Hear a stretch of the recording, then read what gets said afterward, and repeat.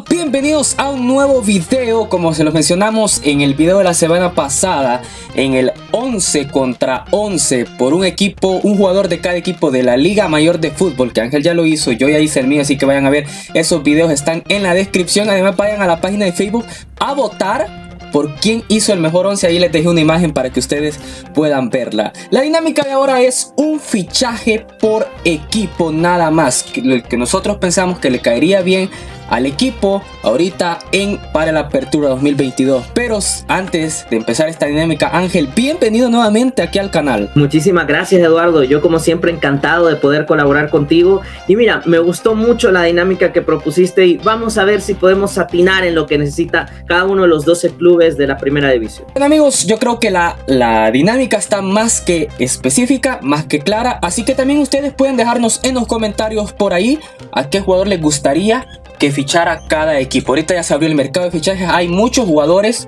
equipos que ya ficharon y bueno, vamos a ver si nosotros podemos acoplar a algún jugador. Suscríbanse al canal, denle like, también vayan al canal de Fútbol 11 que va a estar en la descripción porque están subiendo videos toda la semana acerca de la Liga Mayor de Fútbol.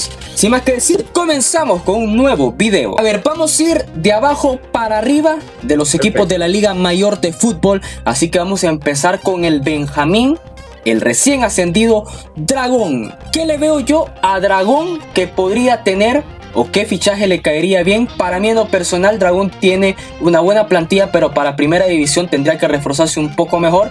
Y de las posiciones que para mí en lo personal le caería bien es la posición de portero y yo traería a Henry Hernández tanto para la portería como el liderazgo que necesita el equipo de Dragón en estos momentos, ya que llegan a ascender y podemos tener alguna sorpresa por ahí, como lo tuvo Platense esta temporada pasada que estuvo en los lugares top y que hasta clasificados a Concachab. Henry Hernández sería mi fichaje tanto para la portería como el liderazgo que podría ofrecer dentro del campo. Mira, pues yo voy a variar completamente, me voy a ir hasta el otro extremo de la cancha. Y ya que, a ver, a mí me gusta mucho la dupla de Javier de Jesús Fermán y el mismo Rommel Mejía que ascendieron a segunda división goleando prácticamente en todos los partidos, pero ya que es necesario sumarle un poquito de rotación y por qué no un perfil un, un poco diferente, voy a aprovechar que Santos Guzmán está en el mercado, dejó el conjunto de Jocoro y me parecería que ya teniendo estos tres delanteros, te armas una rotación muy interesante y todavía te podría quedar incluso un hueco para otro atacante. Pero sí, Santos Guzmán, que aparte está acostumbrado a jugar en el oriente del país, creo que es donde mejor se adapta a él a jugar. Y por qué no un equipo quizás de un perfil un poquito más bajo, pero donde calladito, calladito él va trabajando y va generando sus cifras. Yo pensé también en el ataque al inicio y uno de los que me llamaba la atención, no voy a cambiar mi jugador, el que ya dije, pero era Héctor Lemos, el delantero del A de Huayuba. Porque bueno, o sea, hay que empezar también a reforzar un poco el ataque. Entonces nos quedamos con Santo Cumán y Henry Hernández como fichajes para el equipo de Dragón. Vamos con el siguiente equipo y es el equipo de Santa Tecla que la verdad que se ha reforzado bastante bien esta temporada. Por ahí ha llevado a David Rugamas, a Gilberto Baires, a Andrés Quejada. O sea, ha hecho fichaje bastante bueno. Pero en lo personal, yo siento que le faltaría un hombre en el ataque al equipo de Santa Tecla y un hombre experimentado ya en la Liga Nacional, en la Liga Mayor de Fútbol. Y es el caso de Vladimir Díaz al solo ocupar por el momento al colombiano Andrés Quejada y José Barreto como extranjeros, pues tenés la opción de fichar todavía a jugadores eh, que no son nacionales. Y a mí me gustaría mucho Vladimir Díaz en el Santa Tecla, por ahí que lo acompañe Gilberto Aires, o por qué no jugó Vladimir Díaz y también con David Rugamas en el ataque, además que viene siendo el campeón de goleo de la Liga Mayor de Fútbol. Sí, no, es nada mala opción, fíjate. Yo voy a optar por reforzar una posición que creo que ahora mismo eh, Santa Tecla no tiene un jugador natural en ese perfil y es el lateral izquierdo, ya que no continúa en Metapan y como en Santa Tecla están acostumbrados a darle oportunidad a jóvenes, creo que sería una buena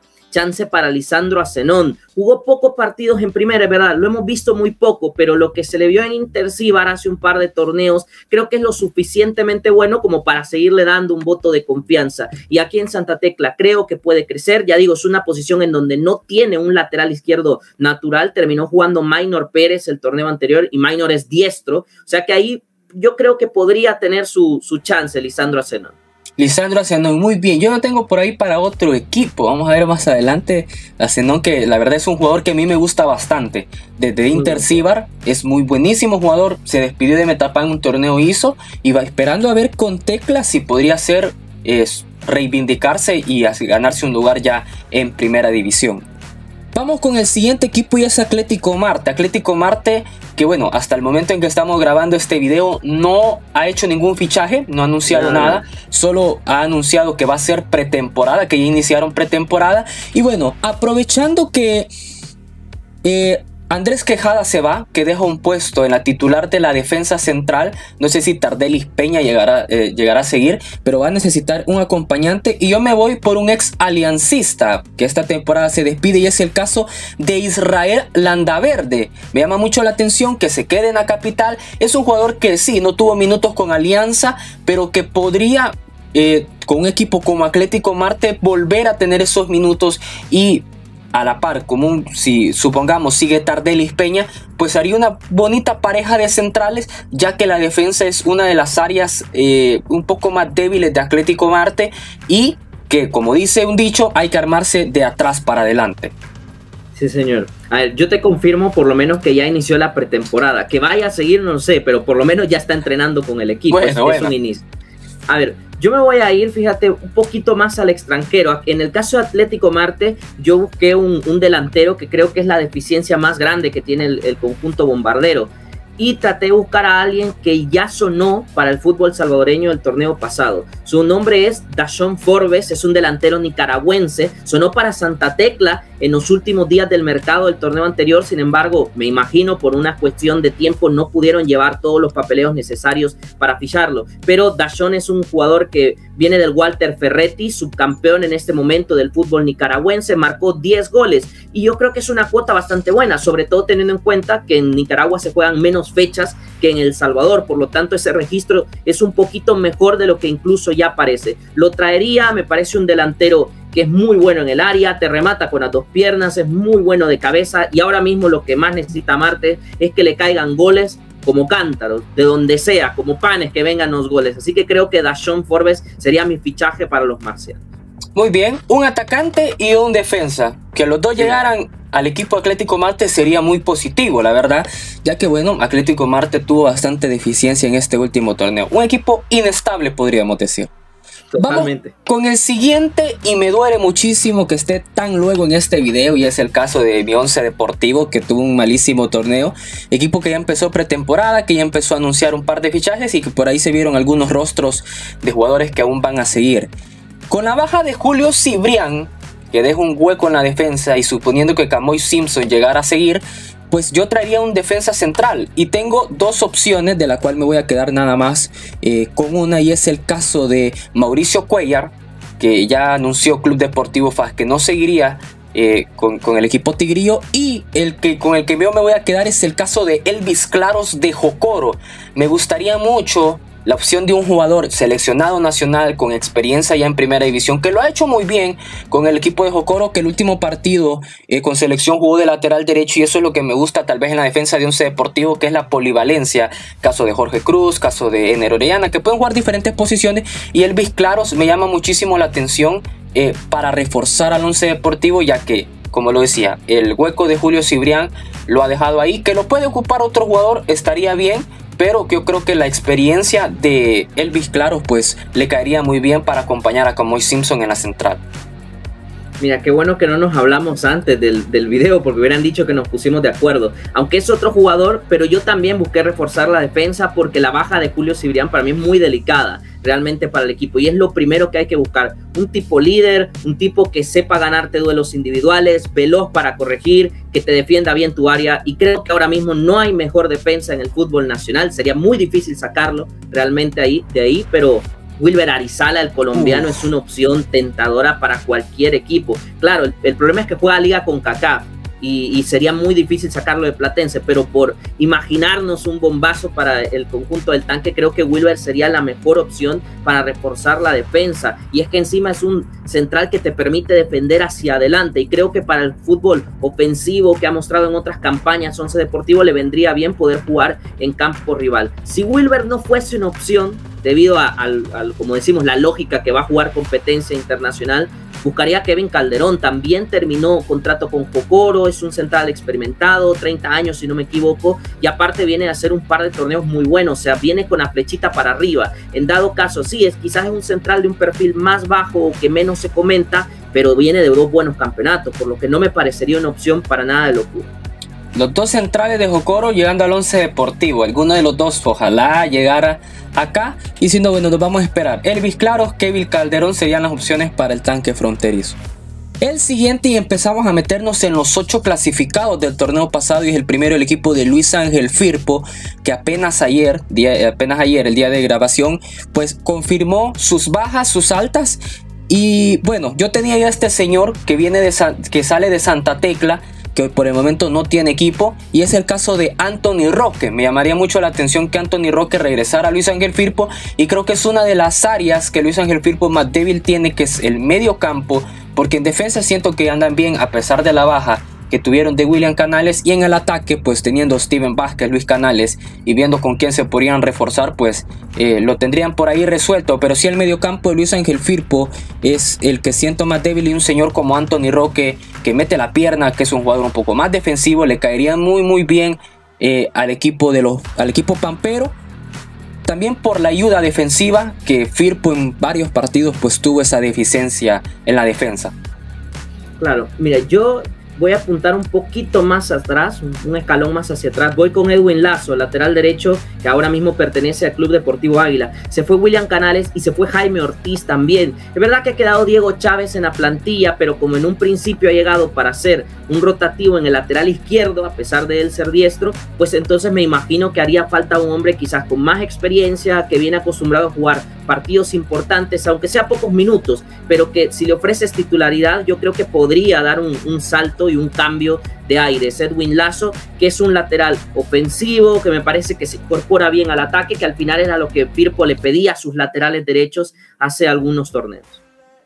Muy bien, Luis Ángel Firpo, que sí, con su paja de lateral derecho, dos jugadores que fueron a los equipos de, de CONCACAF, la Platense y Alianza.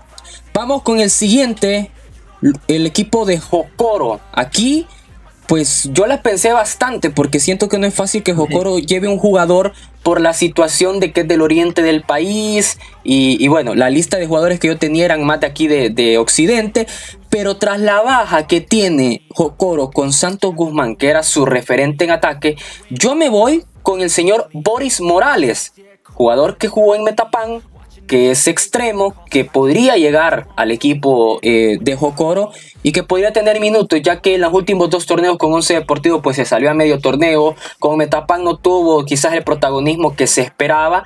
Y a ver si con Jocoro retoma un par de minutos y, por ahí se hace de los líderes en el ataque del equipo de Tierra de Fuego yo me voy por la defensa, porque para mí la baja de Kevin Calderón es muy delicada para el conjunto de Jocoro. Es verdad que está Elvis Claros, pero el otro central es Jonathan Quintanilla, que tiene pocos minutos en primera división. Así que dije, vamos a buscarle un escudero a Elvis Claros, un tipo quizás joven, que necesite una oportunidad y que se pueda proteger bien al lado de un defensa que tiene, aún siendo joven también, pero más minutos en la primera división. Y he optado por Walter Pineda, que es central de la reserva del Club Deportivo Águila y que encima también está convocado para el premundial de la sub-20. Ha sido titular en el proceso de Gerson Pérez y yo lo mencionaba en varios medios que me sorprende que Walter Pineda no haya tenido una oportunidad en el conjunto migueleño. Se ficharon dos centrales y son dos buenos centrales, lo entiendo, un conocido para ti, Julio Cibrián y Rómulo Villalobos, pero como que Walter necesita, necesita esa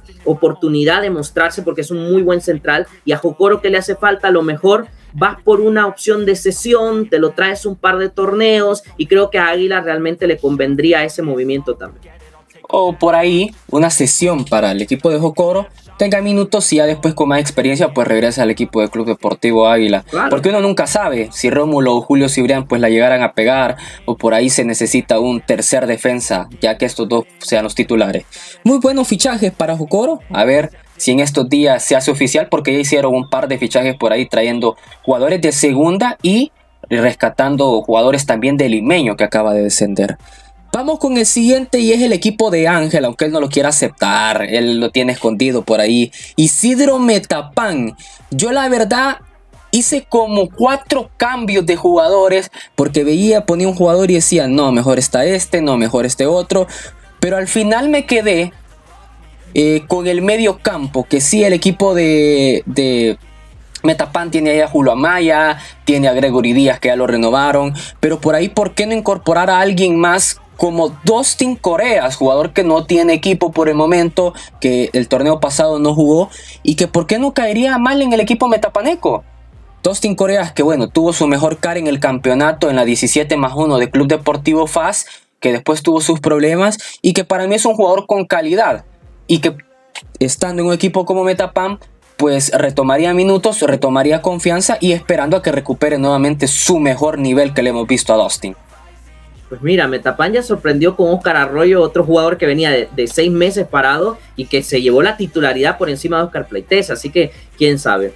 Eh, por cierto, mi único equipo es la Selecta. Ese es el único equipo que Estefan confes. A ver, yo para Metapan buscaría un extremo derecho porque desde que se fue Joao Inestrosa por temas de disciplina, pues Héctor Omar Mejía ha malavariado un poquito más con esa posición y como que no termina de haber un titular indiscutible. Entonces yo me iría nuevamente para los talentos sub-20, que a Metapan le han funcionado, por cierto, y traería a alguien del Inter César Orellana futbolista que te juega como medio derecho, que te puede jugar un poquito más adelantado, en cuestión de emergencia también te juega de lateral derecho, toda esa banda la domina, es un muy buen regateador, rápido, quizás necesita mejorar un poquito la última toma de decisión, pero siendo tan joven y teniendo jugadores al lado como Gregory Díaz, como Julio Amaya, el mismo Néstor Renderos para cubrirle las espaldas, creo que César podría dar ese salto de calidad y empezar a aportarle a Metapan, así como otros jugadores jóvenes, tal como Cristian Aguilar, por ejemplo, o Kevin Román, que quizás calladitos, pero ahí empezaron a dejar cifras muy positivas para el cuadro Caleb.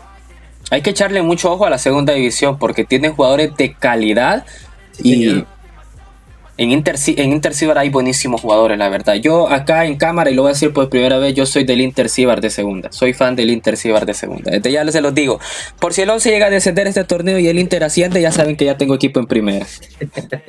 Vamos con la siguiente y es el equipo de Club Deportivo FAS que acaba de oficializar nuevos dueños AMG Sports son los nuevos dueños, así que podemos ver un par de billetazos ahí en Club Deportivo FAS.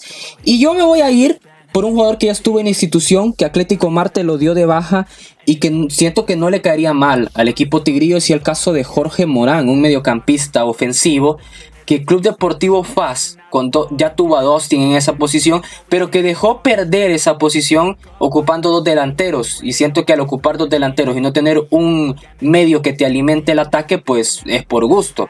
Si los extremos no andan finos o los extremos no deportan tan bien para los delanteros, pues pues no te va a servir de mucho tener dos delanteros. Y siento que Jorge Morán es un jugador que en Atlético Marte eh, fue líder por ahí.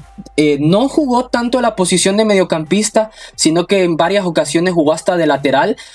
Pero a ver cómo le sentaría regresar al Club Deportivo FAS. En sus redes sociales, pues por ahí ha tirado un par de indirectas al Club Tigrillo.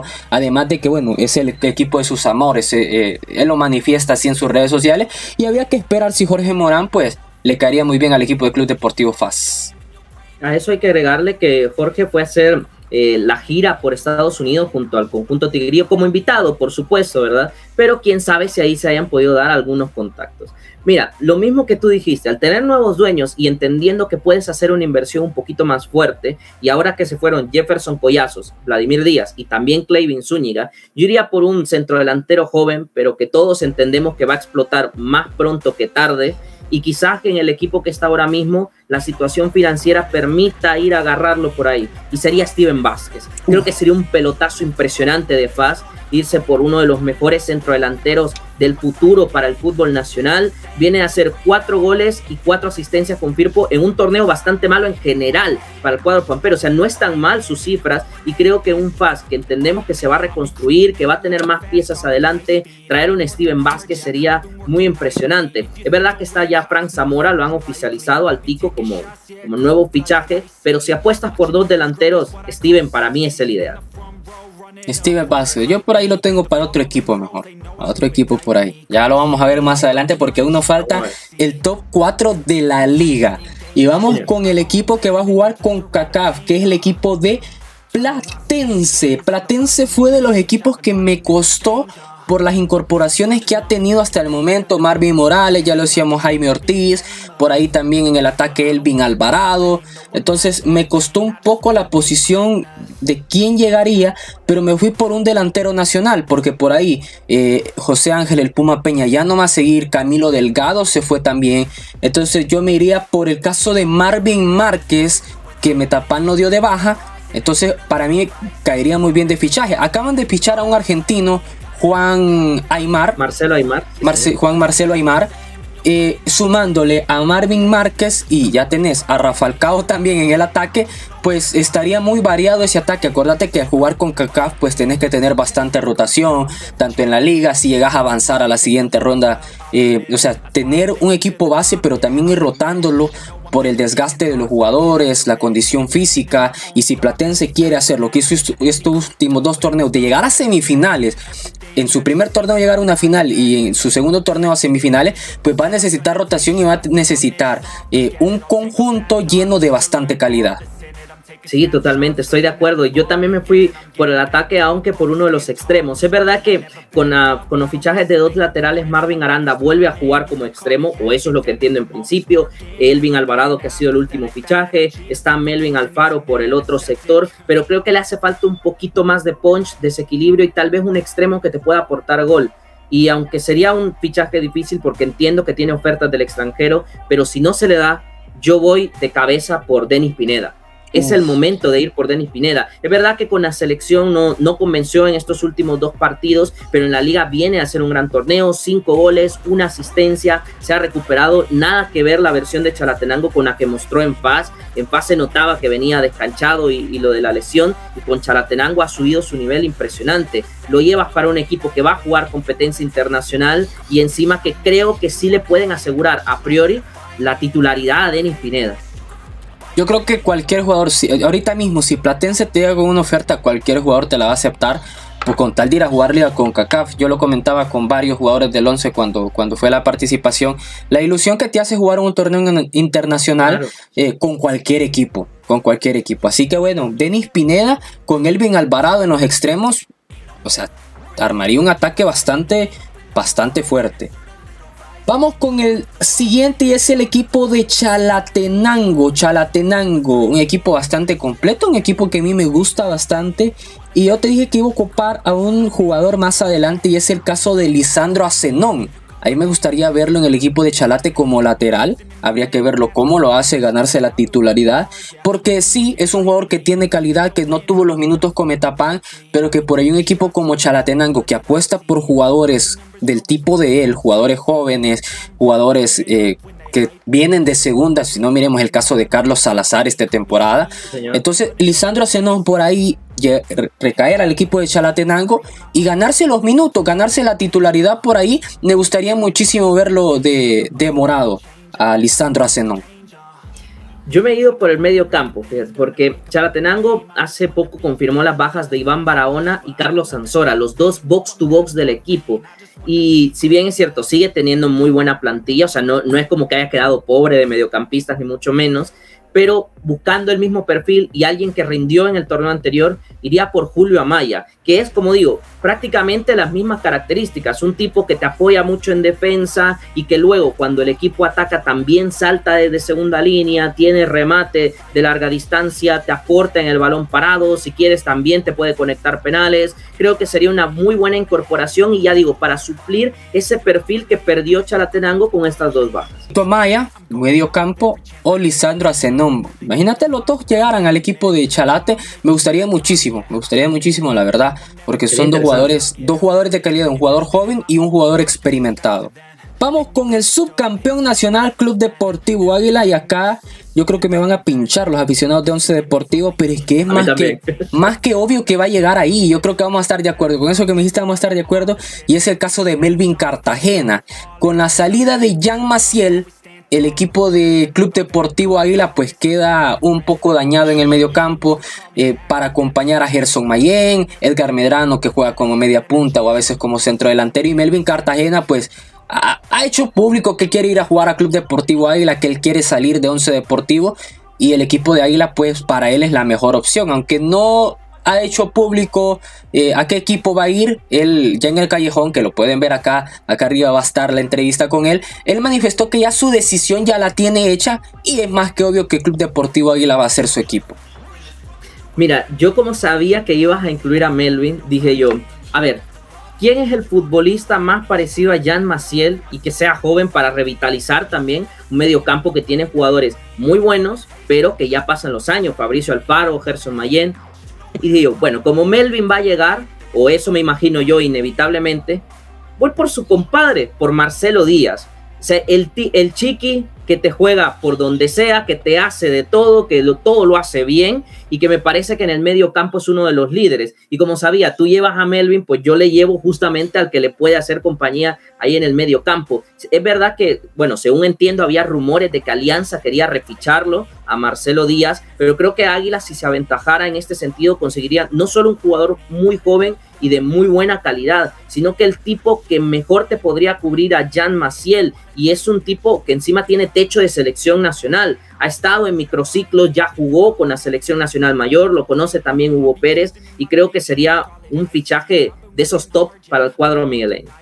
O sea, tú te llevarías al mediocampo del, del que le ha funcionado el once deportivo en los últimos años, Melvin y Marcelo. La verdad es que yo se los comentaba a ellos y es una dupla de mediocampistas que la verdad ha, ha hecho la sensación en el fútbol nacional por la juventud que ellos tienen y cómo se han entendido en la cancha, a pesar de que ellos dicen que en reserva se daban con todo y se daban a patadas y bueno.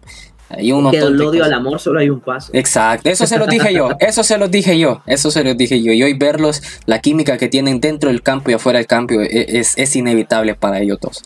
Vamos con el último equipo y es el campeón nacional Alianza y este fue el más difícil. Porque viendo todas las líneas de Alianza, Alianza ya tiene cubiertas todas las líneas defensa central. Hoy que sufrieron al, Purdi Cibrián como segundo portero, que es un buen portero para mí. La lateral izquierda la tiene llena, los centrales, lateral derecho, medio campo, ataque con los Camilo Delgado y, y, Landazuri. Pero yo me voy a ir por un centro delantero. Ahorita solo tienen a Juan Camilo Delgado y tienen a Fito Celaya. Pero a futuro ¿por qué no Steven Vázquez al club de Alianza? Me gustaría mucho, me llama mucho la atención. Como te lo digo, para, por un futuro. Fito Celaya no es un jugador que te va a jugar los 90 minutos. Juan Camilo Delgado con Platense no tuvo tantos minutos como los había tenido las temporadas pasadas. Así que habría que ver cómo se, cómo se cómo llega el equipo de Alianza. Entonces, Steven Vázquez por ahí recaer al club Albo no estaría nada mal. Yo voy por el medio campo, pero coincido contigo en el, en el sentido de que es muy difícil darle un fichaje a Alianza porque parece que tiene de todo, y es verdad, tiene de todo y por todas partes. Sin embargo, creo que aunque hay un sustituto para Narciso, ya con Harold Osorio hay un sustituto para el huevo Rodríguez, pero le hace falta algo a Marvin. Y aunque no es exactamente lo mismo, creo que es de lo más parecido que puede haber en nuestro fútbol nacional. He optado por Brian Landaverde, pero el Brian Landaverde de Chalatenango, no el de Club Deportivo Paz que, porque el de Chalate es mucho más parecido. Brian Josué Landaverde, para especificarlo mejor, que es un tipo que con la pelota es muy inteligente, que te encuentra los espacios que no ve otro jugador. Quizás es un poquito más trotón, es un poco más lento, necesita un poquito más de espacio, pero creo que acostumbrarlo a una dinámica más veloz como la de Alianza y entendiendo que sería el suplente de Marvin Monterrosa, no el titular de un solo, creo que le darías tiempo para adaptarse y en el medio plazo, quién sabe, incluso poder tomar el, el lugar que deje Marvin en unos años. 26 años, si no mal recuerdo, para Landaverde, o sea, tiene mucho fútbol todavía por delante en sus pies y que creo que de, de esos talentos que con un poquito más de confianza el tipo explota y te deja números de gran mediocampista en nuestro fútbol. Yo pensé, yo me iba a ir por un mediocampista, por lo mismo, sí, Harold Osorio por ahí, el Huevo Rodríguez, Chicho, Marvin Monterrosa, pero dije yo, ¿a quién? ¿Quién caería en Alianza? Por ahí me fui por el Chiqui Díaz, pero el Chiqui pues no es, lo, no es tan parecido a lo que hace Marvin Monterrosa. Por eso me decanté por Steven Vázquez. Por ahí busqué un portero, pero es lo mismo. Yo siento que Alianza a la hora de fichar jugadores pues no se va por el que quede libre, no se va por, por el más barato. Alianza va a fichar jugadores de calidad y por eso me fui por, por, Steven Vázquez, por el futuro y por lo que podría dar en, en la institución de Alianza. Bueno, esto han sido los 12 fichajes, bueno, 24 jugadores que hemos mencionado por acá para eh, reforzar a cada equipo de la Liga Mayor. Esperemos que más de alguno se pudiera dar por ahí. Eh, directivas de jugadores. Chequen el video ahí, ya saben. Cualquier cosa estamos eh, como representantes, como, ¿cómo se llamaría esto? Poner ideas de jugadores. Pero bueno, es un ejercicio bastante bueno, es un ejercicio que, que, me gustó, me llamó mucho la atención hacer un fichaje. Como ya lo vimos, hay equipos en los cuales es muy difícil hallar jugadores porque sus plantillas ya están nutridas o por en este caso que ya ficharon bastantes jugadores. Pero bueno, dejen en los comentarios ustedes también qué fichaje harían para los equipos de la Liga Mayor, para su equipo. Eh, en específico, ustedes que, que, son fan tanto de Firpo, de Alianza, de Once Deportivo, de Águila, por ahí, déjenos en los comentarios sus fichajes y, y cuál les pareció de los que hemos dicho acá. Gracias Ángel por estar acá en el canal. Próximamente te vamos a tener nuevamente eh, por acá con el famosísimo fichar, ceder y vender. Bueno, muchísimas gracias Eduardo. Por cierto, nos armamos nuestra agencia de representantes de jugadores y yo creo que más de alguno ubicamos. Hace, quiero ver, para el torneo anterior hicimos un video donde dijimos que José Guevara era un fichaje ideal para FAS. Llegó a Club Deportivo FAS, o sea que como dicen por ahí, algo andamos en la jugada. Así que gracias y muy pronto nos vemos por acá nuevamente. Bueno, este ha sido el video de esta semana. Muchísimas gracias, amigos. Les voy a dejar acá el link en la descripción del canal de Fútbol 11. También les voy a dejar el link de los dos videos que hicimos armando nuestros 11 eh, con un jugador nada más por equipo de la Liga Mayor de Fútbol. Y en mi página de Facebook hay una imagen donde ustedes pueden ir a votar quién hizo el mejor 11. Este tipo FIFA, el tipo de FIFA 22, quién armó, quién armó el mejor 11. Así que, amigos, espero que se suscriban, que le den like, que vayan al canal de Fútbol 11 a suscribirse. Suscríbanse a este canal. Síganos en todas las redes sociales que están apareciendo aquí abajo. Y nos vemos próximamente porque hoy que estoy de vacaciones voy a hacer muchos videos así que suscríbanse y activen la campanita de notificaciones. Nos vemos en un próximo video